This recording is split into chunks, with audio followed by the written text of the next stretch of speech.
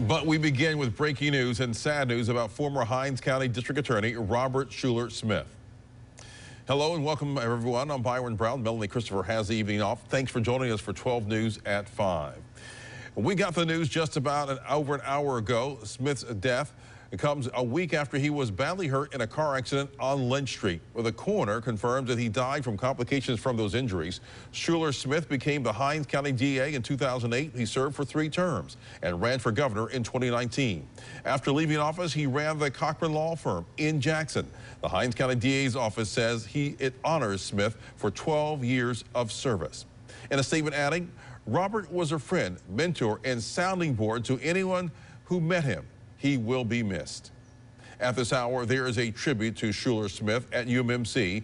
This is a live look at the hospital where members of the Hinds County Sheriff's Department and Jackson Police have gathered. They will be escorting Robert Shuler Smith to the funeral home.